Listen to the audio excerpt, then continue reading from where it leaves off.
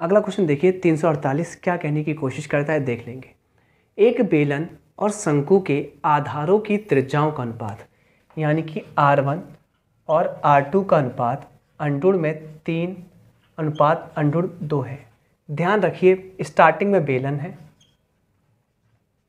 फिर ये शंकु है और उनकी ऊंचाइयों का अनुपात H1 अनुपात H2 क्या है अंडोड टू, अनुपात अंडोड सिक्स। कोई भी इशू नहीं है। इसको यहाँ सॉल्व कर लें। अंडूड सिक्स को under root two under root three break कर सकते हैं। इसको वन अपॉन अंडूड थ्री लिख सकते हैं। हाँ ठीक है। तो उनके आयतनों का अनुपात। प्यारे बच्चों, आयतनों का अनुपात क्या होता है? किन के आयतन? बेलन और शंकु। बेलन का आयतन, प्यारे बच्चों, होता है पाई आर वन माना है, इसलिए आर वन का स्क्वायर और एच वन और शंकु का होता है एक बटे तीन क्लियर पाई आर टू का स्क्वायर एच टू पाई से पाई कट्टम हो जाएगा, उड़ जाएगा। लीजिए लीजिए, कट गया। फाइनली आर वन और एच वन यहाँ आर वन देखिए आर वन क्या, अंडोर तीन। अंडोर तीन का स्क्वायर कोई भी इशू नहीं है। और यहाँ पर आर टू देख लीजिए, अंडोर टू का स्क्वायर रख दिया। एच वन देख लीजिए एच वन क्या है? एच वन है वन और एच टू है अंडोर थ्री फाइनली ये अनुपात निकालना है। कैलकुलेशन अंडर थ्री का स्क्वायर थ्री आएगा और तीन इधर चला जाएगा। फाइनली अंडर टू का ये आ जाएगा टू अंडर थ्री ठीक है? ठीक है? ओके क्या कर ले हम यहाँ पर? क्या कर ले? कुछ भूले तो नहीं है। कुछ भूले तो नहीं है। कुछ भी ऐसा तो नहीं है जो हम भूल चुके हैं। हुँ? नहीं ना? नहीं ना। ठीक है? ओके यहाँ पर अंडर थ्री और अंडर थ्री का मल्टीप्लाई अपनी तरफ़ से कर लीजिए। इससे होगा क्या? Under three under three three three से थ्री कट जाएगा। तीन अंडर तीन, अनुपात दो। क्या ये है ऑप्शन में? हाँ जी ऑप्शन बी करेक्ट है। देख लेते हैं, क्या आपकी स्क्रीन पर आ रहा है? क्या आपकी स्क्रीन पर आ रहा है? मुझे लगता है शायद आ तो रहा है, देखना पड़ेगा। हाँ आ रहा है। ठीक है। अब करते हैं इसको रफ। ये तो क्लियर है। ये क्वेश्चन अभी मैंने कराया था, सम षटभुज का क्षेत्रफल सेम है। सिर्फ़ इसने भुजा चेंज कर दिया, आप करेंगे। नेक्स्ट क्वेश्चन अगला प्रश्न आता है 350 क्या कहने की कोशिश करता है? जब 6 सेंटीमीटर त्रिज्या और 6 सेंटीमीटर ऊंचाई वाला एक ठोस बेलन है से 24 सेंटीमीटर ऊंचाई और 8 सेंटीमीटर त्रिज्या वाला शंकु बनाया जाता है तो कितनी सामग्री बर्बाद होती है? और आपको पता है, जब एक आकृति से दूसरी आकृति बनाते हैं तो उनका आयतन बराबर होता है है ना? पर इसमें आप रेशियो सेट करेंगे। कैसे? मैं आपको बता रहा हूँ। सबसे पहले आपके पास था क्या? आपके पास बेलन था। बेलन का आयतन होता है पाई आर स्क्वायर एच और शंकु का होता है एक बटे तीन पाई आर स्क्वायर एच जहाँ आप रेशियो बनाइए पाई से पाई कट गया। ओके अब देखिए, यहाँ पर जो त्रिज्या है ना, बेलन की, वो छः सेंटीमीटर है। तो छः गुणा छः और ऊंचाई है, मेरे प्यारे बच्चों छः कोई भी इशू नहीं। जबकि अगर हम बात करें, जबकि हम बात करें यहाँ पर, किसकी? ओके शंकु की तो शंकु की देखिए, त्रिज्या तो आठ सेंटीमीटर है। आर की जगह तो आपको आठ इंटू आठ लिखना है। और जबकि आपको लिखना क्या है? ऊंचाई। ऊंचाई कितनी है? चौबीस सेंटीमीटर। सवाल उल्टा लिख दिया गया है। ठीक है? कम से ज़्यादा बना रहे हैं। ऐसे कैसे? जब छः सेंटीमीटर त्रिज्या और छः सेंटीमीटर ऊंचाई वाले एक ठोस बेलन से चौबीस सेंटीमीटर ऊंचाई और आठ सेंटीमीटर त्रिज्या वाले शंकु को बनाया जाता है, ऐसा हो ही नहीं सकता। आप ज़्यादा क्वांटिटी को बना रहे हैं। कुछ बोले तो नहीं है। हाँ हो सकता है थ्री भी तो है। अभी चेक कर लेंगे। डाटा कैसे आ रहा है? काटा पीटी कर लेते हैं। छः से चौबीस कटेगा। छः चौक। कोई भी इशू नहीं है। दो से तीन बार। दो से तीन बार। यानी कि चार हो गया, चार से दो बार। फाइनली तीन त्रिका नौ नौ तिया सत्ताईस। और इधर हो जाएगा। हर चौक बत्तीस बत्तीस उन्नीस चौंसठ। ऐसा हो ही नहीं सकता। इसका मतलब इन्होंने गलत लिखा हुआ है। इससे ये बनाया है। उल्टा कर दीजिए, शंकु से शंकु से बनाया होगा बेलन। कितने का लॉसेस हो रहा है? चौदह में से सात गया सात का, या पाँच में दो गया तीन का, सैंतीस का आउट ऑफ़ चौंसठ इंटू हंड्रेड है ना? कैलकुलेशन चार से पच्चीस बार, चार से चार, एक कम चार, सोलह बार ही कटेगा। इसमें इसका गुणा करेंगे और भाग लगा देंगे सोलह का। पच्चीस सत्ते पच्चीस सत्ते एक सौ पचहत्तर की पाँच कैरी कितनी? सत्रह पच्चीस थी, आप पचहत्तर पचहत्तर और सत्रह बानवे। में भाग देंगे सोलह का। सोलह पंजे अस्सी, सोलह चिंग, सोलह पंजे अस्सी पंजे अस्सी। कितना बचेगा? बारह। सोलह अट्ठे एक सौ अट्ठाईस, सोलह सत्ते जाएगा, सत्ते। फिफ्टी सेवन पॉइंट कुछ परसेंट आएगा। ऑप्शन नंबर ए करेक्ट है। देखते हैं आपकी स्क्रीन पर आ रहा है। Fifty seven point eight percent बिल्कुल ठीक है। अगला क्वेश्चन क्वेश्चन नंबर तीन सौ इक्यावन. क्या कहने की कोशिश करता है? कागज़ की एक चौकोर सीट, इसकी भुजा की तरफ़ से मोड़कर एक बेलन के रूप में बदल दिया गया है। कागज़ की एक चौकोर सीट है, आयताकार। अच्छा चौकोर है तो वर्गाकार है। ओके, चौकोर है। तो वर्गाकार है। कागज़ की एक चौकोर सीट को इसकी भुजाओं की तरफ़ मोड़कर एक बेलन के रूप में बदल दिया गया। ऐसे। आप कहेंगे ऐसे। ऐसे। मोड़ दिया गया है। ठीक है? वर्ग और फिर वर्ग की भुजा और बेलन के आधार की त्रिज्या का अनुपात। वर्ग की भुजा और आधार की त्रिज्या में अनुपात बताना है। कोई भी इशू नहीं है, कोई भी इशू नहीं है। क्लियर कोई भी इशू नहीं है। आप मुझे एक बात बताइए, आपने किसको मोड़ा है? आपने एक वर्ग को मोड़ा है? बेलन में मोड़ा है? ठीक है तो यहाँ पर आपको पता है, मोड़ने के बाद बेलन बनाया गया है और वर्ग का होता है क्षेत्रफल और बेलन को मोड़ा है। मैं आपको दिखा रहा हूँ पहले। बेलन को मोड़कर ऐसे बनाया है। अगर ऐसे बनाया है तो उसमें कंडीशन क्या होगी? उसमें देखिए, ऐसे मोड़ेंगे तो बेलन की जो ऊंचाई होगी, बेलन की जो ऊंचाई होगी, इसकी भुजा के बराबर होगी। ठीक है? कोई भी इशू नहीं है। और जब आप टू को मोड़ रहे हैं, जब आप टू को मोड़ रहे हैं तो यहाँ पर आपको तुलना करनी पड़ेगी क्षेत्रफल से। किससे? क्षेत्रफल से। तो क्षेत्रफल क्या होता है? वर्ग का क्षेत्रफल भुजा स्क्वायर और बेलन का वक्र पृष्ठ क्या होता है? आपने कहा टू पाई आर एच। और इन दोनों में अनुपात निकालना है। किसमें किसमें निकालना है? आपको निकालना किसमें है? आपको निकालना है आर और एच में। आर और एच में। आर और एच में। अरे, ऐसे ही आ जाता। लो।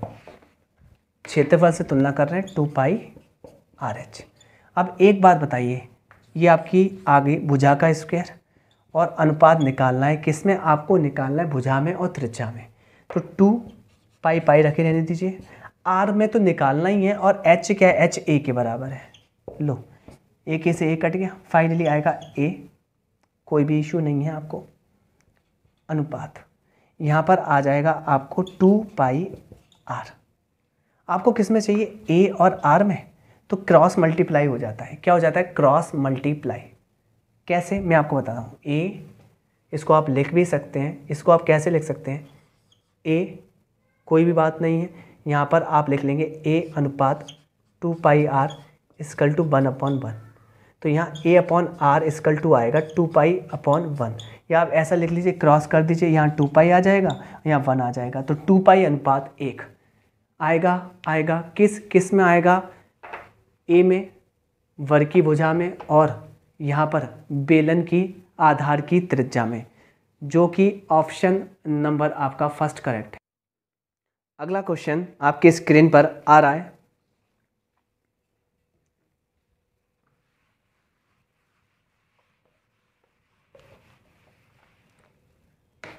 देखिए, तीन सौ बावन, क्या कहता है? एक घन का आयतन और एक ऐसे गोले का आयतन जो घन में पूर्णता फिट हो जाता है। मैंने अभी जस्ट बताया था आपको, अगर घन लेंगे और उसमें एक गोला रख रहे हैं और पूर्णता फिट हो रहा है तो घन की भुजा, घन की भुजा का आधा उस गोले गोले की त्रिज्या होगी। तो यहाँ पर क्या रहता है? यहाँ पर घन की भुजा का आधा गोले की त्रिज्या होती है। बस, अब क्या करना है आपको? एक घन के आयतन और ऐसे गोले के आयतन जो घन में पूर्णता फिट हो रहा है, उनके बीच अनुपात बताना है, आयतन। तो घन का आयतन क्या होता है? आपने कहा भुजा क्यों? ए क्यों? और गोले का क्या होता है? चार बट्टे तीन पाई और आर की वैल्यू क्या है? होता है चार बट्टे तीन पाई आर क्यूब तो इसका क्यूब करेंगे, प्यारे बच्चों तो इसका भी क्यूब करना पड़ेगा। ए क्यूब अपॉन एट कोई भी इशू नहीं है। ए क्यूब से ए क्यूब कट जाएगा। इससे कटेगा दो बार। है ना? तो यहाँ पर आपका आएगा एक क्लियर यहाँ आएगा पाई की वैल्यू लगा दीजिए। पाई में निकालना है ओके पाई और यहाँ बचेगा नीचे तीन दूनी छः। फाइनली आएगा क्रॉस मल्टीप्लाई कर लेंगे सिक्स रेशियो पाई यही आंसर है इसका ऑप्शन नंबर बी करेक्ट है। अगला क्वेश्चन देखते हैं क्या ये चल रहा है अच्छे से। कोई भी इश्यू तो नहीं है। हाँ जी, चल रहा है। अगला क्वेश्चन सेम है। ये क्या कह रहा है? घन और इसके गोली की ऊंचाई समान है। ऊंचाई समान है, त्रिज्या तो हो जाएगी आधी जैसा ये है, इसका आंसर भी सिक्स रेशियो फाइव आएगा। अगला क्वेश्चन नेक्स्ट क्वेश्चन देखिए।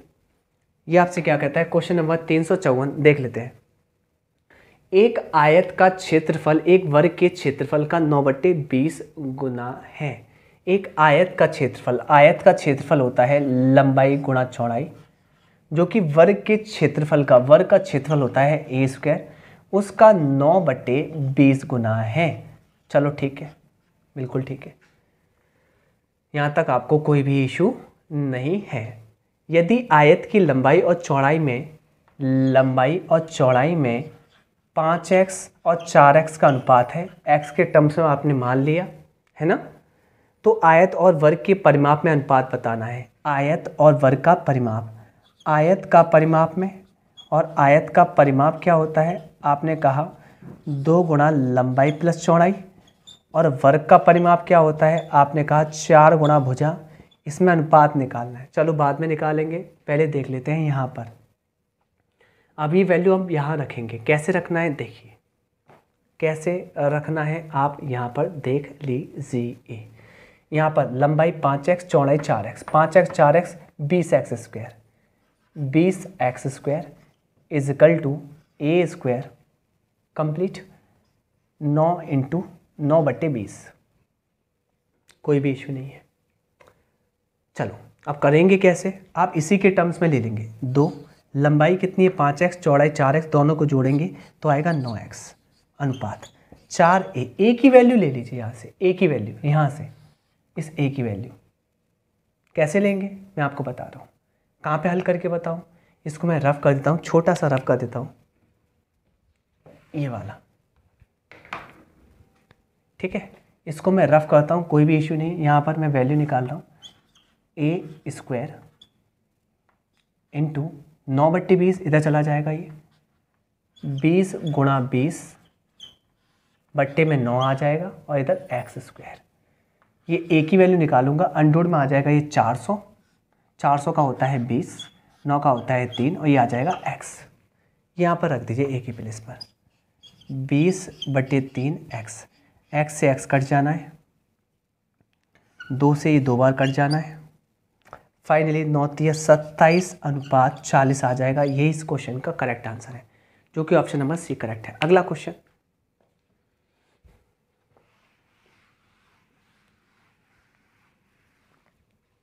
तीन सौ पचपन। क्या कहने की कोशिश करता है? कि 40 मीटर गुणा 24 मीटर माप के कमरे के फर्श पर बिछाने के लिए छः मीटर, चार मीटर के कितने कालीन की आवश्यकता होगी? नंबर ऑफ़ कालीन्स निकालने के लिए बड़ी आकृति का क्षेत्रफल जिसमें आप बिछा रहे हो टू में, जो कि है 40 मीटर इंटू चौबीस मीटर। क्लियर और आप क्या बिछा रहे हैं फर्श पर? कालीन? और कालीन की माप क्या है? क्षेत्रफल क्या है? छः गुणा चार। छः चौक चौबीस, आंसर आ जाएगा चालीस, जो कि ऑप्शन नंबर ए करेक्ट है। अगला क्वेश्चन लगाइए प्लीज़ अगला क्वेश्चन क्या कहता है? क्वेश्चन नंबर ये है आपका fifty six three fifty six अब देख लेंगे। एक कमरे की लंबाई फाइव पॉइंट फाइव मीटर है। चलो। लंबाई है 5.5 मीटर चौड़ाई है 3.75 मीटर। फर्श पर आठ सौ रुपये प्रति मीटर स्क्वायर की दर से स्लैब बिछाने की लागत। फर्श पर तो फर्श का क्षेत्रफल निकाल लीजिए। क्षेत्रफल होता है लंबाई गुणा चौड़ाई। तो 5.5 गुणा 3.75 ये क्षेत्रफल निकल आएगा मीटर स्क्वायर में और मीटर स्क्वायर के हिसाब से आठ सौ रुपये पे करने पड़ेंगे। बस गुणा गुणा करना है आंसर। अब देखिए अच्छे से। पॉइंट से ज़ीरो आपने खा लिए। कोई भी इशू नहीं है। एक बार बताइए, आठ को मैं ऐसे ब्रेक कर लूँ? चार गुणा दो। होगा क्या? दो से साढ़े पाँच का गुणा होगा, ग्यारह हो जाएगा। गुणा। तीन सौ पचहत्तर गुणा चार। चार पंजे बीस की ज़ीरो कैरी दो, चार सौ अठहत्तर, दो और तीस की ज़ीरो कैरी तीन, चार तीन, बारह तीन, पंद्रह। पंद्रह सौ में ग्यारह का गुणा करेंगे। आएगा one six five double zero. ये आंसर होगा, इतने रुपए खर्च होंगे। ऑप्शन सी करेक्ट है। अगला क्वेश्चन आ रहा है आपकी स्क्रीन पर। देखिए 357 क्या कहने की कोशिश करता है? एक ड्रम में पानी भरने की क्षमता पॉइंट सिक्स है और इसमें से 38 लीटर पानी निकाल लिया जाता है तो पानी इतना बचता है। यानी कि यानी कि आपने आपने इसमें से कुछ निकाला, तब इतना बचा। तो फाइनली निकाला कितना? बराबर रख लीजिए, आपने निकाला था अड़तीस। यानी कि लेफ़्ट हैंड साइड में एक की वैल्यू ही हंड्रेड परसेंट वैल्यू आ जाएगी ड्रम की क्षमता। कैसे करना है? पॉइंट के बाद तीन ज़ीरो पॉइंट के बाद तीन ज़ीरो सॉरी पॉइंट के बाद तीन अंक पॉइंट के बाद तीन अंक. तो घटा सकते हैं आराम से. ये आ जाएगा 600 में से 125 गए. आपने कहा कितना? चार सौ पचहत्तर. इसी की वैल्यू अड़तीस के बराबर है. कंफर्म आपको 100 परसेंट वैल्यू चाहिए. एक की आ जाएगा आंसर पॉइंट हटाया. तीन ज़ीरो चिपका दिए. पच्चीस से काटो. पच्चीस से कम पच्चीस बचेगा तेईस। हम्म, क्या? बचेगा बाईस। और पच्चीस नब्बे दो सौ पच्चीस। पच्चीस से इसको काट लो। पच्चीस से इसको काट लो। कैसे काटेंगे? मैं आपको बता रहा हूँ। कैसे काटेंगे? पहले इसको ब्रेक करते हैं आप। Three eight into one zero zero zero में। पच्चीस से इसको काटते तो ये कटता आपका चालीस बार। अब आता उन्नीस की वैल्यू आती है आपकी चालीस गुणा अड़तीस। उन्नीस से कट जाएगा दो बार और चालीस गुना आएगा अस्सी। ये एक की वैल्यू आएगी, ये हंड्रेड परसेंट है, अस्सी आंसर आ जाएगा। ऑप्शन सी करेक्ट है। अगला क्वेश्चन अगला क्वेश्चन देखिए। आपसे कह रहा है 358 में, यदि केवल विकर्णों की माप दिए गए हों, विकर्ण दिए गए हों तो इनमें से किस चतुर्भुज का निर्माण किया जा सकता है? अरे, विकर्ण से। आपको पता है अगर मैं बात करूँ वर्ग की तो वर्ग में अगर विकर्ण दिया है आपको, यानी कि वर्ग के विकर्ण तो समान होते हैं। वर्ग के विकर्ण समान होते हैं, कोई भी इशू नहीं है। और वर्ग का विकर्ण आप निकालते हैं तो क्या होता है? विकर्ण होता है ए अंडू टू और आपसे ये कह रहा है, अगर विकर्ण दिए हैं, अगर विकर्ण दिए हैं, अगर आपको विकर्ण दिया गया है तो भुजा निकल आएगी। भुजा निकल आएगी तो आप वर्ग का निर्माण कर सकते हैं। तो हाँ वर्ग तो आपका राइट है, बन जाएगा। दूसरा, आयत। आयत को चेक कीजिए। आपने आयत को चेक किया। आयत में क्या है? अगर आपको विकर्ण दिया गया है, क्या दिया है? विकर्ण की माप दिया गया हो। तो विकर्ण क्या होता है यहाँ पर? लंबाई का स्क्वायर प्लस चौड़ाई का स्क्वायर अंडूर में। तो विकर्ण से काम नहीं चलेगा। आपको विकर्ण और लंबाई दी जाए तो चौड़ाई निकल आएगी, जिससे लंबाई चौड़ाई से आकृति बनती है। तो यहाँ पर आयत नहीं बन पाएगा।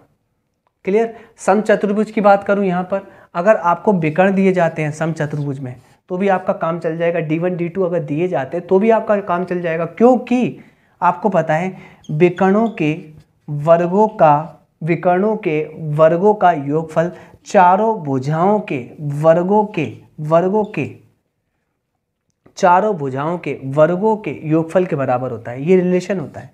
तो आपको दोनों दिए गए तो यहाँ से उसकी भुजा भी निकल आएगी सम चतुर्भुज की। तो सम चतुर्भुज बनेगा, वर्ग बनेगा, आयत नहीं बनेगा। आंसर होगा फ़र्स्ट थर्ड जो कि ऑप्शन नंबर फ़र्स्ट करेक्ट है। अगला क्वेश्चन इसको देख लेते हैं। Question number three fifty nine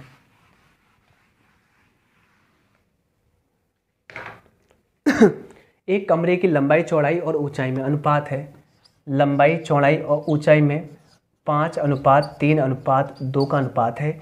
यदि लंबाई दुगनी कर दी जाए, लंबाई पाँच की जगह आप दस कर दीजिए। चौड़ाई एक तिहाई, एक बटे तीन करेंगे तो एक आ जाएगी। और ऊंचाई ऊंचाई को आधा कर दीजिए, एक कर दीजिए, होगा क्या?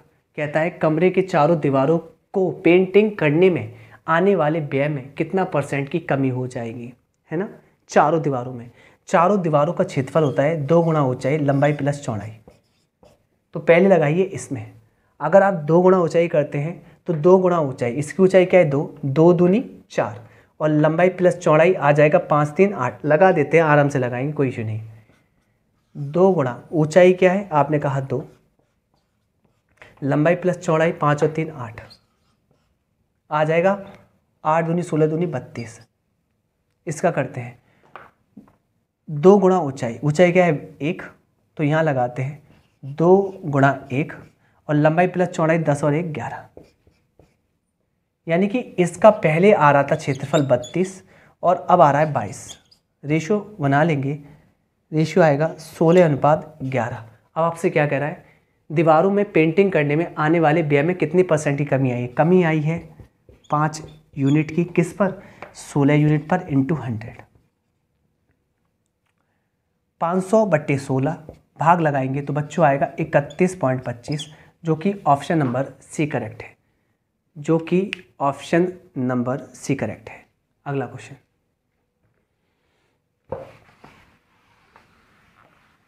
क्वेश्चन नंबर तीन सौ साठ, क्या कहने की कोशिश करता है? एक लंबवर्तीय शंकु का आयतन। लंबवर्तीय शंकु शंकु का आयतन, शंकु का आयतन होता है एक बटे तीन पाई आर स्क्वायर एच का आयतन जिसके आधार की त्रिज्या, जिसके आधार की त्रिज्या, उसके ऊंचाई के, इसी के ऊंचाई के पाँच बटे नौ गुने के समान है। ठीक है? और गोले के आयतन के बराबर है। और गोले के आयतन के बराबर है। क्या? क्या? शंकु का आयतन गोले के आयतन के बराबर है। और गोले का आयतन होता है चार बटे तीन पाई आर क्यू तो शंकु और गोले की त्रिज्याओं में अनुपात बताना है। तो शंकु और गोले की त्रिज्याओं में अनुपात बताना है। आपको करना क्या है? त्रिज्याओं में अनुपात। तो आपको एच की वैल्यू लेनी है आर के टर्म्स में। एच की वैल्यू आ जाएगी नौ आर बटे पाँच। ये पुट कर देंगे सीधे सीधे यहाँ पर। कर दीजिए। तीन से तीन कट्टम पाई से पाई कट्टम आर स्क्वायर जैसे का तैसा। एच की प्लेस पर रख देंगे यहाँ पर नौ आर बटे पाँच बराबर। चार आर क्यूब कुछ कट पिट रहा है, कुछ नहीं कट रहा। यहाँ आ जाएगा R square, R R cube अनुपात में आ जाएगा आर क्यूब इन दोनों में तेजाओं में अनुपात बताना है। यहाँ आ जाएगा बीस, यहाँ आ जाएगा नौ। इसने क्या किया? आंसर बनाने के लिए तीन का गुणा यहाँ कर दिया, तीन का गुणा यहाँ कर दिया है। क्लियर? कोई भी इशू नहीं है। अब जैसे ही आप आर अनुपात आर निकालेंगे, इधर क्यूब रूट जाएगा। क्यों किया है? क्योंकि नौ तिया सत्ताईस का क्यूब रूट होता है तीन। और यहाँ पर इसका क्यूब रूट पहले भी नहीं था, अब भी नहीं है। ये बन जाएगा आपका क्यूब रूट सिक्सटी। तो यही आंसर है, जो कि ऑप्शन नंबर डी करेक्ट है। देख लीजिए। डी करेक्ट है। अगला क्वेश्चन।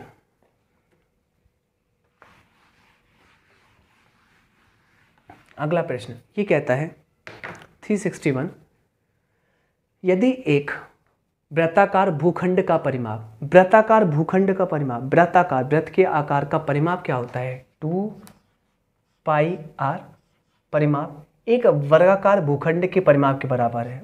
वर्गाकार भूखंड का परिमाप फोर है के बराबर है। पता नहीं क्या बोल दिया। बराबर है तो उनके क्षेत्रफलों में क्या अनुपात होगा? क्षेत्रफलों में। ठीक है। क्षेत्रफल क्या होता है? व्रत का। तो व्रत का क्षेत्रफल होता है पाई आर स्क्वायर और वर्ग का क्या होता है? वर्ग का क्षेत्रफल होता है भुजा का स्क्वायर। इनमें अनुपात बताना है। तो कुछ तो रिलेशन बताना पड़ेगा। कुछ भी नहीं करना। ए की वैल्यू उठा लीजिए, बस आंसर आ जाएगा। ए की वैल्यू कितनी आ जाएगी? आपने कहा ए की वैल्यू यहाँ से आ जाएगी। निकालिए। ए की वैल्यू आ जाएगी पाई आर अपॉन टू रख दीजिए यहाँ पर। पाई आर अपॉन टू का होल स्क्वायर यहाँ pi R square. Pi R square, और यहाँ पर आपको करना क्या है? Pi square, R square upon दो का स्क्वायर चार।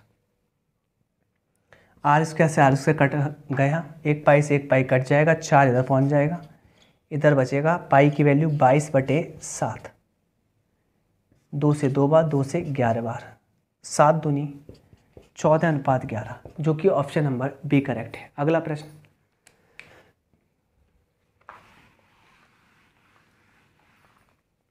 थ्री सिक्सटी टू क्या कहता है? लंबवर्तीय शंकु का आयतन, जिसकी आधार की त्रिज्या, उसकी ऊंचाई की एक तिहाई है। अभी जस्ट मैंने बताया था ऐसा प्रश्न। जस्ट बताया था। दो तीन क्वेश्चन पीछे था। करना आपके लिए होमवर्क है। ठीक है? नेक्स्ट क्वेश्चन अब यहाँ पर देखते हैं 363 क्या कहने की कोशिश करता है? रॉकेट के ऊपरी हिस्से का आकार एक लंबवर्तीय शंकु के आकार का है, जिसकी ऊंचाई तीन मीटर है, जबकि उसका निचला भाग बेलनाकार है, जिसकी त्रिज्या तीन मीटर है और ऊंचाई दस मीटर है। इंजन के लिए जगह बनाने के लिए पहले तो इतना फिगर बना लेते हैं। कुछ ऐसा फिगर है। ये आपका रहा लंबवर्तीय शंकु। जिसकी ऊंचाई तीन मीटर है। तीन मीटर? ये एक जैसा है व्रत है ये। ठीक है? जिसकी ऊंचाई तीन मीटर है, जबकि उसके निचला भाग बेलनाकार है। कुछ ऐसा है? समझ लेना आप। बेलनाकार है, जिसकी त्रिज्या तीन मीटर है। त्रिज्या तीन मीटर है। त्रिज्या क्या है? तीन मीटर है। और ऊंचाई इसकी दस मीटर है, यहाँ से। इंजन के लिए जगह बनाने के लिए ऊपर कीजिए। अभी आधा क्वेश्चन नीचे है। इंजन के लिए जगह बनाने के लिए रॉकेट के आधार को अंदर से, रॉकेट के आधार को अंदर से एक अर्ध वृत्ताकार रूप से काटा गया ऐसे। काटा जाता है, जिसकी त्रिज्या तीन मीटर है, यानी कि इसकी त्रिज्या भी कितनी है? तीन मीटर है। सेम। यानी कि बिल्कुल फिक्स काटा गया है, फिक्स एकदम। घन मीटर रॉकेट का कुल आयतन क्या है? कुल आयतन कुल आयतन। कुल आयतन में किस किस के आयतन ज्वाइंट होंगे? पहले शंकु का आयतन। शंकु का आयतन क्या होता है? एक बट्टे तीन pi R square H. R square H. जब ये तीन, जब ये ये भी तो तीन होगा। अरे इसके ऊपर फिक्स है। तीन तीन और इसका भी तीन। तो आर स्क्वायर, तीन का स्क्वायर इंटू एच तीन। है ना? R square H plus. क्या बोल रहा है? रॉकेट के आधार को अंदर से अर्धवृत्ताकार रूप काटा जाता अच्छा काटा जाता है। पता है आपको ये क्या कह रहा है? ये रॉकेट यहाँ से काट रहा है। काट के कुछ रॉकेट आपको ऐसे दिखाई देगा।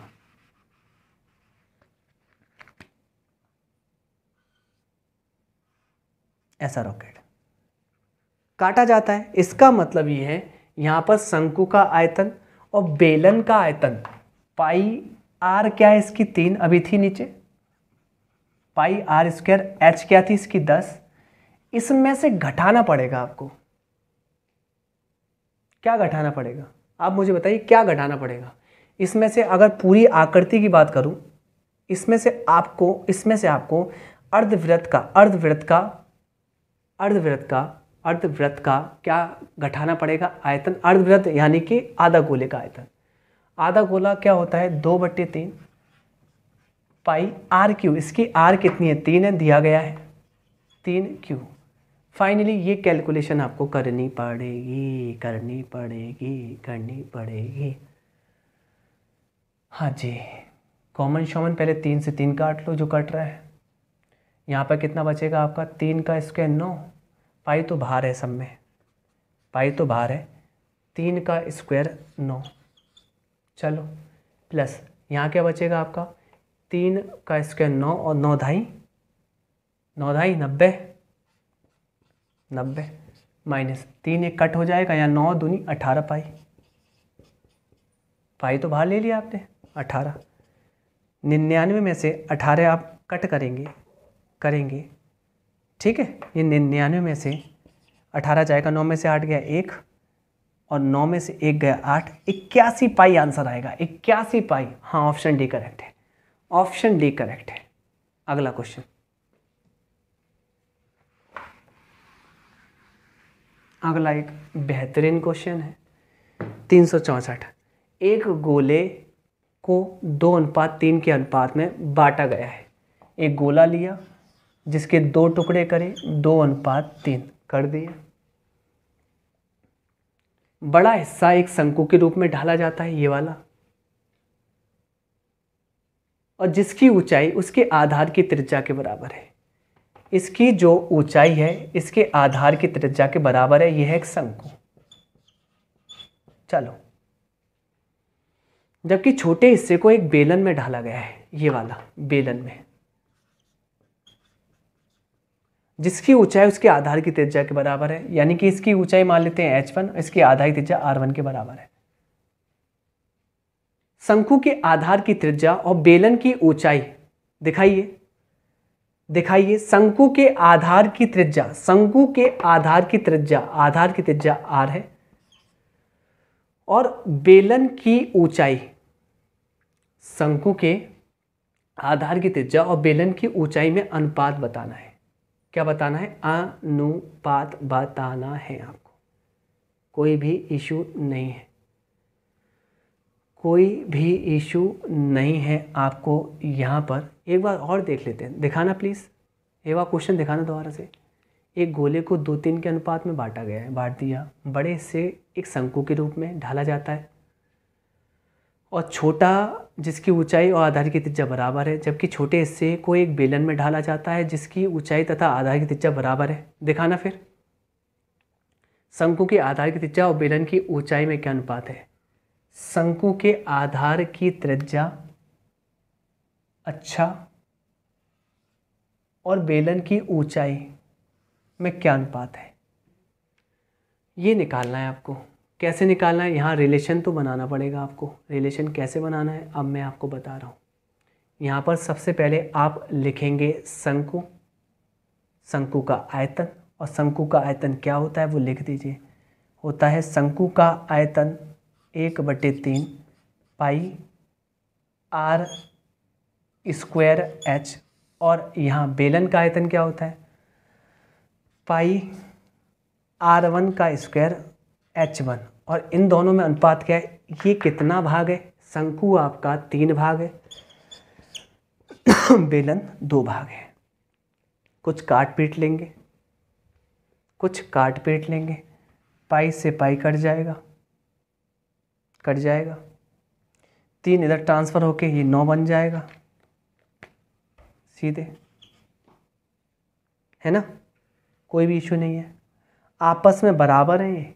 आपस में बराबर है तो आपको करना क्या है? आपको ये पता है ना, शंकु के आधार की तेजा और बेलन की ऊंचाई। तो बेलन में ऊंचाई लेनी है, बेलन में ऊंचाई लेनी है तो बेलन आपने कहाँ रखा है? बेलन आपने नीचे रखा है। ठीक है? तो बेलन की ऊंचाई बनानी है, और आपको पता है ये दोनों आपस में बराबर है। तो इसकी जगह मैं एच वन का स्क्वायर लिख सकता हूँ क्या? ऊंचाई में चेंज कर लिया। और यहाँ पर आपको पता है दोनों एच और आर बराबर है तो एच के प्लेस पर आर लिख सकता हूँ। ये कंडीशन क्या बनेगी? R cube upon H one का क्यू और यही निकालना है आपको। नौ बट्टे दो है। फाइनली क्यू रूट इधर जाएगा तो आ जाएगा क्यू रूट ऑफ़ नाइन और क्यू रूट टू ये अनुपात आएगा। Cube root of nine cube root of two यानी कि ऑप्शन नंबर बी करेक्ट है। अगला क्वेश्चन बढ़िया क्वेश्चन था ये।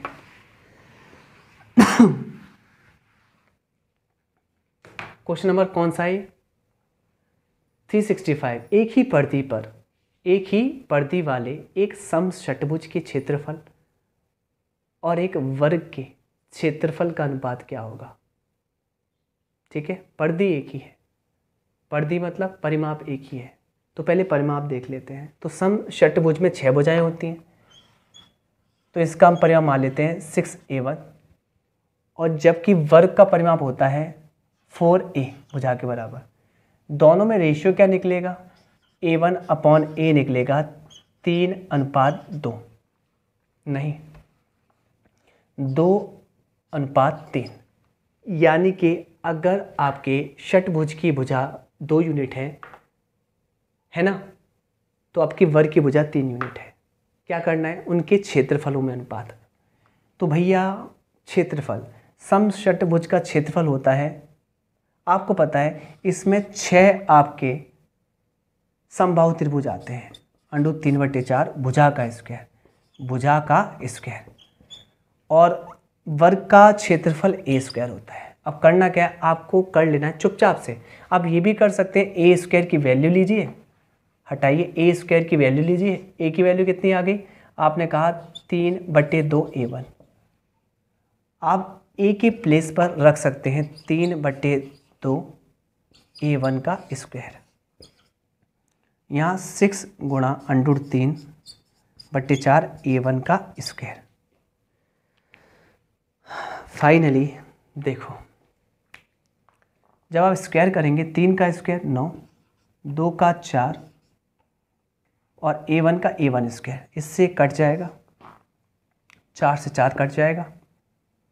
तीन से तीन बार, तीन से दो बार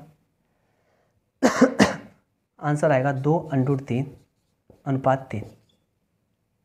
दो अंडूर तीन, अनुपात तीन। पर ऐसा नहीं दिया है तो क्या करना पड़ेगा? इसने कुछ अंडूर तीन अंडूर तीन करा होगा, मुझे पता है। तीन को आप ऐसे लिख सकते हो, अंडूर तीन इंटू अंडूर तीन। लौट के तो यही आएगा।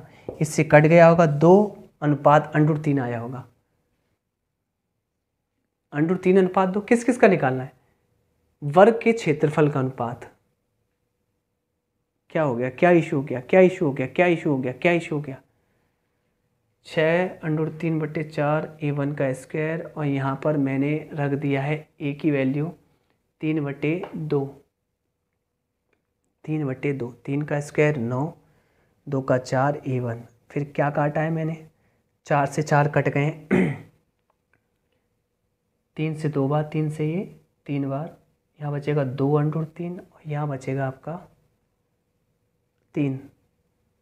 एक बार चेक कर लेते हैं, कोई इश्यू तो नहीं है। हो सकता है आंसर तो ऑप्शन डी हो सकता है। बिल्कुल करेक्ट आंसर है।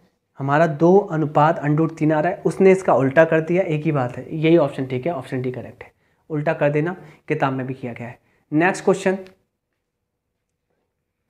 अगला प्रश्न question number three sixty six क्या कहता है?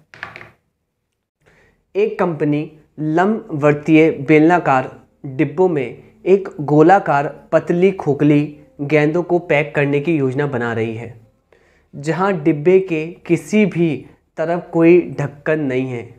क्लियर? और डिब्बा आपका बेलनाकार है। यदि गेंद और डिब्बे एक ही पदार्थ के बने, जैसे इसमें पदार्थ आ गया, इसका मतलब आपसे क्या पूछा है? आगे देखिए। पदार्थ के बने हैं तो गोले और डिब्बे में प्रयुक्त पदार्थ का अनुपात। पदार्थ का अनुपात मतलब क्षेत्रफल का अनुपात। समझ में आ रहा है? अगर यहाँ पर कहता कितने गोले आ सकते हैं तो आयतन बराबर होता। पर यहाँ पदार्थ का अनुपात पूछा है, इसलिए आपको करना पड़ेगा क्षेत्रफल के साथ। तो यहाँ एक कंपनी लंबवर्तीय बेलनाकार डिब्बे में। अगर मैं लंबवर्तीय बेलन बनाऊँ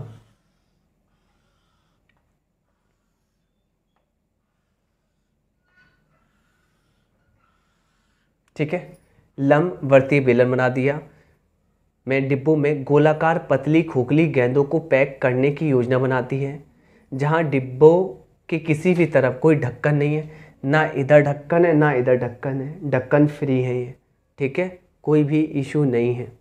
चलो, किसी भी तरफ़ कोई ढक्कन नहीं है। यदि गेंद और डिब्बे एक ही पदार्थ के बने हैं तो गोले और डिब्बे में प्रयुक्त पदार्थ का अनुपात।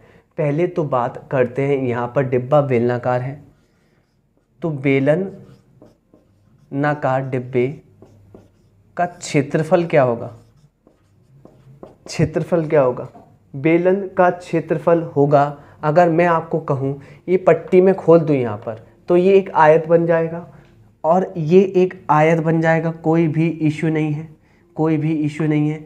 और बेलनाकार का वक्र पृष्ठ होता है टू पाई आर, यानी कि लंबाई तो टू पाई आर बन जाएगी और ऊंचाई एच हो जाएगी। तो बेलनाकार जो डिब्बा बनेगा, उसका क्षेत्रफल होगा टू पाई आर एच। जहाँ जहाँ एक बात बताने की कोशिश कीजिएगा, इसमें आप रख रहे हो एक, क्या? गोलाकार एक खोखली गेंद रख रहे हो। अब खोखली गेंद रखोगे तो यहाँ पर टकराएगी। और कंडीशन क्या होगी? कंडीशन ये होगी कि इसकी त्रिज्या क्या होगी? आर ठीक, कोई भी इशू नहीं है। इसकी त्रिज्या क्या होगी? आर कोई भी इशू नहीं है। आर तो बेलन की भी है। अगर ऊंचाई की बात करूँ तो इस इस इस जो गोला है गोला है, गोले की ऊंचाई तो आपको नहीं निकालनी, गोले में ऊंचाई नहीं देखनी। पर बेलन की ऊंचाई क्या होगी? बेलन की ऊंचाई होगी किसके बराबर? देखिए अच्छे से। यहाँ पर अगर मैं चेक करवाऊँ आपको आर और आर टू आर होगी। मैं इस बात कर रहा हूँ गोले की। यहाँ तक आर, यहाँ तक आर टू आर। बस एक बात ध्यान रखना और लगा देना यहाँ पर। आ जाएगा two pi R R, H की जगह आ जाएगा टू आर। फाइनली आ जाएगा फोर पार, फोर पाई आर स्क्वेयर। ये तो बेलन का हो गया। और गोले का क्या होता है? क्षेत्रफल, गोले का क्षेत्रफल होता है बच्चों, फोर पाई आर स्क्वेयर। अब इन दोनों में अनुपात निकालना, आएगा एक, अनुपात एक। बट्टी लगा दीजिए। यही आंसर करेक्ट है। देखिए, दिखाइए प्रश्न। अगला प्रश्न आपकी स्क्रीन पर आएगा। इस प्रश्न का आंसर देख लेते हैं। एक आएगा इसका। नेक्स्ट क्वेश्चन कुछ भी नहीं है। क्षेत्रफल में अनुपात बताना है। बस सिर्फ़ ध्यान देना है कि ऊंचाई बेलन की हो जाएगी आर टू आर के बराबर। बस। यहाँ पर देखिए थ्री सिक्सटी सेवन एक तंबू इस प्रकार का है जिसका निचला भाग 12 मीटर की ऊंचाई का एक सिलेंडर है, यानी कि सिलेंडर, यानी कि बेलन है। क्लियर? यहाँ पर आपका निचला भाग 12 मीटर ऊंचाई का 12 मीटर ऊंचाई का एक सिलेंडर है, जिसका व्यास 112 मीटर है। व्यास 112 है तो त्रिज्या क्या होगी? आधा कर दीजिए छप्पन। अब इसको पता है कैसा बनाना पड़ता है? छप्पन ये होगी। आप मान लीजिए, छप्पन, ये है, ये बारह, ये है, मान लीजिए। उसका शीर्ष भाग 112 मीटर के उसी व्यास के आधार के साथ एक शंकु बना हुआ है। यानी शंकु का त्रिज्या भी छप्पन है और त्रियक लंबाई 60 मीटर ऊँचा है वो। देखिए 60 मीटर तिरछी ऊंचाई है, यानी कि तिरछी ऊंचाई 60 मीटर है।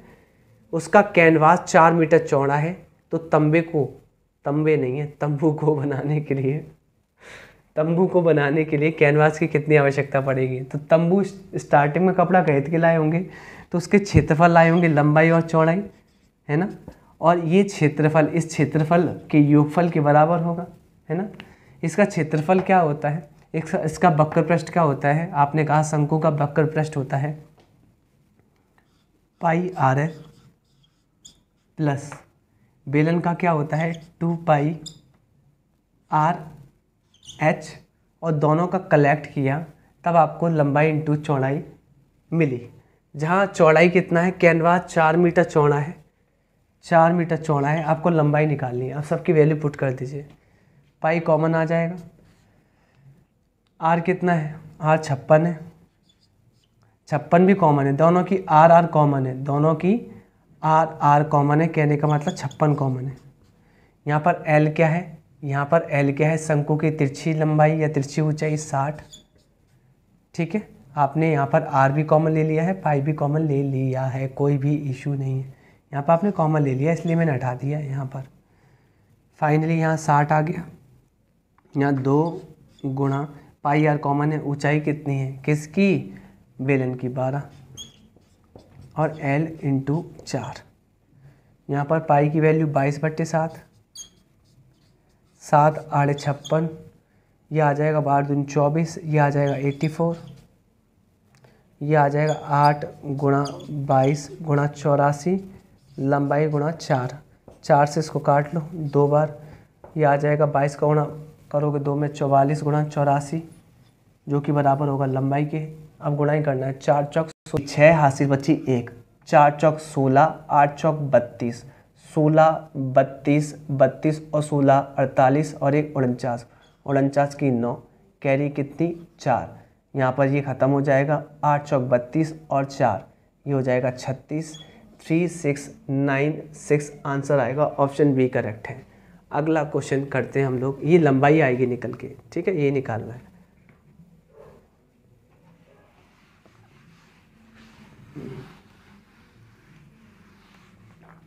अगला क्वेश्चन कहता है 368 आपसे कहता है कि पाँच सेंटीमीटर त्रिज्या वाले एक ठोस गोले को पिघलाकर अधिकतम संभव संख्या में एक सेंटीमीटर त्रिज्या वाली ठोस गेंद बनाई गई हैं।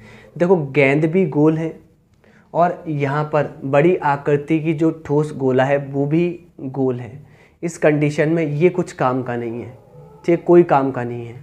यदि गेंदों को एक घनाकार डिब्बे में इष्टतम ढंग से रखा जाता है तो डिब्बे में कितना प्रतिशत स्थान अप्रयुक्त रहेगा? कहने का मतलब किसमें रखा जाता है? डिब्बे में रखा जाता है।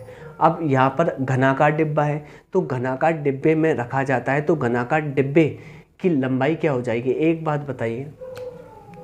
ये आपका घनाकार डिब्बा है, ठीक है? कोई भी इशू नहीं, बना लेते हैं।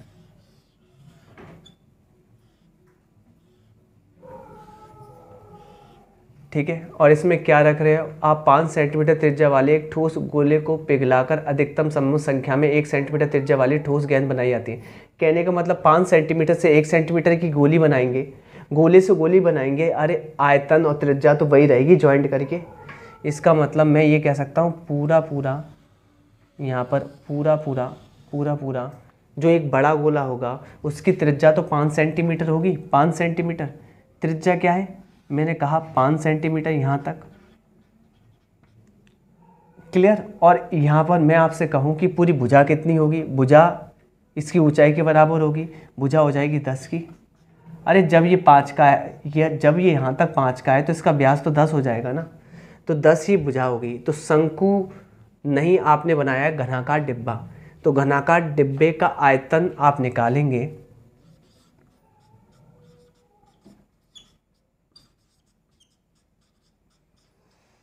घनाकार डिब्बे का आयतन निकालेंगे तो क्या है? आपने कहा ई क्यू और इसमें से माइनस मत करना। इसमें पूछा है कितना अप्रयुक्त स्थान होगा। पहले टोटल निकाल लीजिए टोटल निकाल लिया। फिर इसमें क्या निकाल लीजिए? आप एक गोले का निकाल लीजिए। गोले का क्या होगा? गोले का होता है चार बट्टे तीन, है ना? पाई आर क्यू आर होगा, पाँच की पावर तीन। अगर आप छोटी छोटी गोली बनाते हैं, वो भी पाँच की त्रिज्या ही रखेंगे, इसलिए मत निकालिए गोली को। है ना? अब देखिए, इनमें रेशियो बना लीजिए। पाई की वैल्यू बाईस बटे सात। और यहाँ पर घनाकार भुजा आ जाएगी दस। दस गुणा दस गुणा दस। इनके बीच निकाल लीजिए रेशियो फाइनली कुछ कट पिट रहा है। ये हो जाएगा आपका एक सौ पच्चीस। एक सौ पच्चीस से हज़ार कटेगा आठ बार। चार से आठ कटेगा दो बार। दो से कटेगा ग्यारह बार। फाइनली तीन सत्ते इक्कीस, अनुपात ग्यारह। कितने का लॉस हुआ है? कितना अप्रयुक्त हुआ है? आपने कहा दस यूनिट किस पर? इक्कीस पर इंटू हंड्रेड और आंसर आ जाएगा। ऑप्शन दिखाइए। ऑप्शन दिखाइए। आंसर आ जाएगा forty seven point forty seven point answer दिखाइए। फोर्टी सेवन पॉइंट ऑप्शन देखिए, इसका आंसर आएगा forty seven forty seven point six two जो कि ऑप्शन नंबर डी करेक्ट है। ठीक नेक्स्ट क्वेश्चन लगाया जाए। अगला प्रश्न आपसे क्या कहने की कोशिश करता है? देखिए 369 कहता है, एक पाइप के अनुप्रस्थ काट का क्षेत्रफल 10.4 सेंटीमीटर स्क्वायर है और इसके माध्यम से चौवन किलोमीटर प्रति घंटे की दर से पानी प्रवाहित होता है। यानी कि मैं आपको कुछ समझा दूँ। यह है आपका पाइप। ठीक?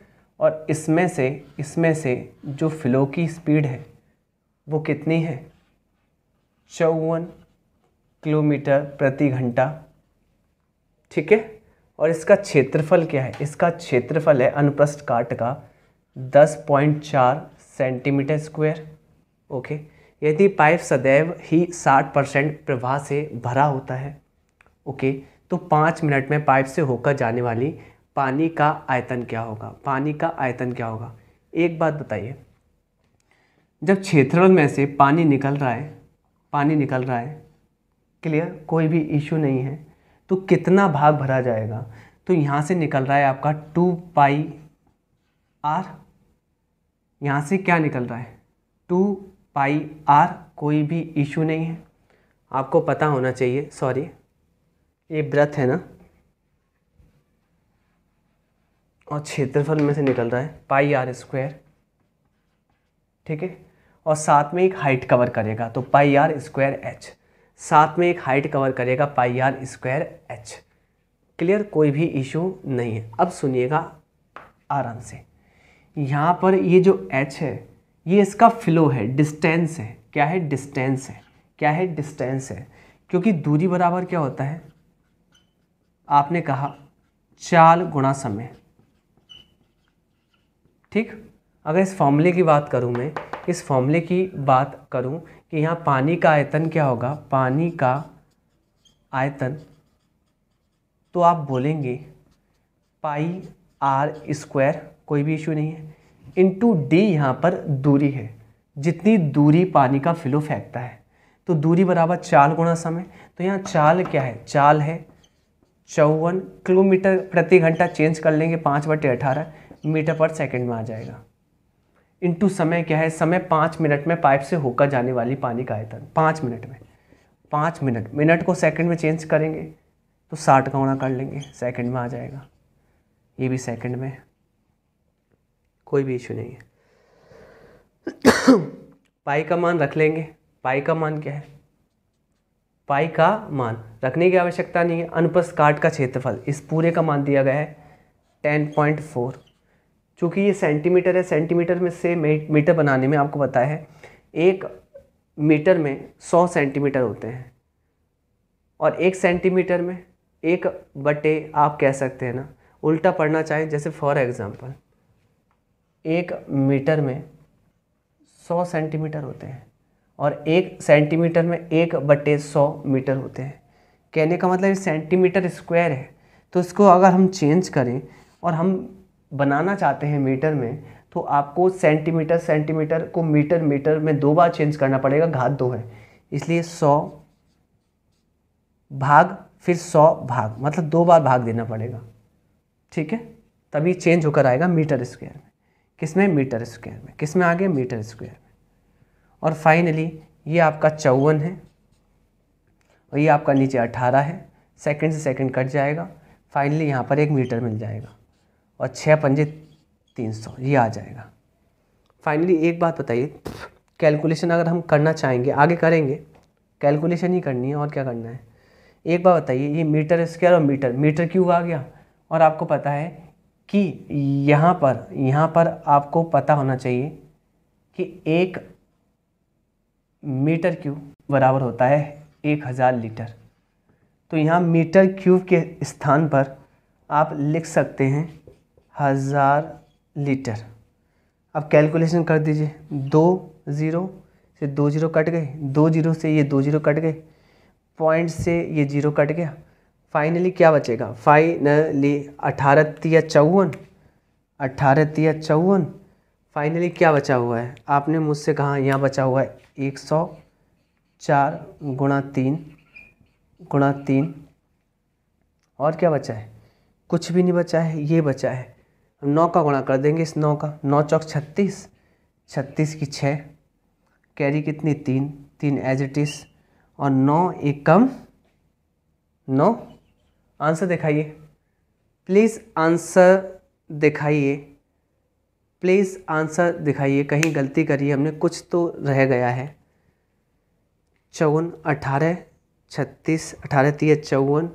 यहाँ पाँच कहाँ चला गया? पाँच कहाँ चला गया? पाँच का चला गया भाई। ये पाँच तो रह गया ना। पाँच का होना और कीजिए। पाँच छिक्के तीस की ज़ीरो, कैरी कितनी? तीन। पाँच तीन पंद्रह और तीन अठारह की आठ। अच्छा जी पाँच नौ पैंतालीस, एक छियालीस। Four six eight zero. Four six eight zero. Four six eight zero. Four six eight zero. अभी भी एक चीज़ भूल गए। इसमें से जो प्रभाव होता है, वो साठ परसेंट होता है। भाई कितना बोलेंगे? साठ परसेंट, तीन बटे पाँच होता है। है ना? अरे यही कर लेते, तीन बटे पाँच। पाँच से पाँच कट जाता, तीन का गुणा कर लेते। तीन छिंग अठारह की आठ, तीन छिंग अठारह की आठ अस्सी बचे एक, तीन तिरका नौ, दस की ज़ीरो अस्सी बचे एक, तीन नाम सत्ताईस एक अट्ठाईस। Two eight zero eight, two eight zero eight, option A. मैं फिर करा रहा हूँ, मैं आपको बता रहा हूँ। दूरी के स्थान पर चाल गुणा समय रख दिया। चाल गुणा समय। चाल को मीटर पर सेकंड में चेंज कर लिया। और यहाँ पर समय है, वो पाँच आपका मिनट है सेकंड में चेंज कर लिया। उसके बाद ये चीज़ भूल गए थे, साठ परसेंट प्रवाह हो रहा है तो साठ परसेंट मुझे यहीं लगाना था। साठ परसेंट मुझे तीन बटे पाँच यहीं लगाना था। अब लगा दिया। लगाने पर कैलकुलेशन करिए। कैलकुलेशन में आंसर आ चुका है, यही आंसर है आपका। नेक्स्ट क्वेश्चन अगला प्रश्न देखिए। अगला प्रश्न आपकी स्क्रीन पर आ रहा है। ये एक अच्छा प्रश्न था। ये हमसे कहता है, एक समबाहु त्रिकोण की ऊंचाई एक वर्ग के विकर्णों के, विकर्ण के एक तिहाई के बराबर है। समबाहु त्रिकोण की ऊंचाई होती है, समबाहु त्रिभुज की ऊंचाई होती है, अंडोर तीन बटे दो ए। और कह रहा है, इसकी जो ऊंचाई है, यानी कि ये, अंडोर तीन बटे दो ए, विकर्ण के एक वर्ग के, विकर्ण के एक तिहाई के बराबर है। वर्ग का विकर्ण होता है ए अंडर टू, उसके एक तिहाई के बराबर है। फिर कहता है, त्रिकोण और वर्ग के क्षेत्रफलों के मध्य अनुपात। त्रिकोण का क्षेत्रफल होता है संभाव त्रिभुज का अंदर तीन बट्टे चार भुजा का स्क्वायर और वर्ग का होता है, और वर्ग का। हमें यहाँ पर भुजा अलग अलग माननी पड़ेगी। यहाँ संभाव की ए वन मान लीजिए, और यहाँ पर यहाँ पर आपको माननी पड़ेगी किसकी? वर्ग की ए स्क्वायर हो जाएगी। क्योंकि टाइम बहुत हो चुका है वीडियो बनाते बनाते तो आप समझ सकते हो कैलकुलेशन थोड़ी बहुत इधर उधर हो सकती है। ठीक है, वर्ग के क्षेत्रफल होता है ए स्क्वायर इसमें अनुपात निकालना है। फाइनली यहाँ पर ए स्क्वायर का मान रख देंगे। कैसे करेंगे? थोड़ा कैलकुलेशन कर लेते हैं। यहाँ से ए की वैल्यू निकाल लेते हैं। यहाँ से ए की वैल्यू निकाल लेते हैं। कोई भी दिक्कत आपको नहीं होगी। है ना? चलो। यहाँ से आते हैं। ए की वैल्यू क्या होगी? यहाँ पर इसको ट्रांसफ़र कर दो। कैसे? ए बराबर आ जाएगा तीन अंडूर तीन। बट्टे में दो रूट दो। और ये आ जाएगा आपका ए वन ये वैल्यू आप यहाँ रख दीजिए। बस कैलकुलेशन करनी है फिर। अंडूर तीन बट्टे चार ए वन का स्क्वायर अनुपात। ए स्क्वायर करेंगे, अगर इसका स्क्वायर करेंगे पूरे का तो क्या आएगा? तीन का स्क्वायर नौ, अंडूर तीन का तीन। दो का स्क्वायर चार अंडूर दो का दो और ए वन का स्क्वायर इससे कट जाएगा। कोई भी इशू नहीं है। चार से चार कट जाएगा। कोई भी इशू नहीं है। ठीक है? फाइनली क्या आएगा? फाइनली क्या आएगा? बताइए मुझे। क्या बच रहा है? क्या बच रहा है? कुछ कट रहा है? यहाँ आ जाएगा आपका।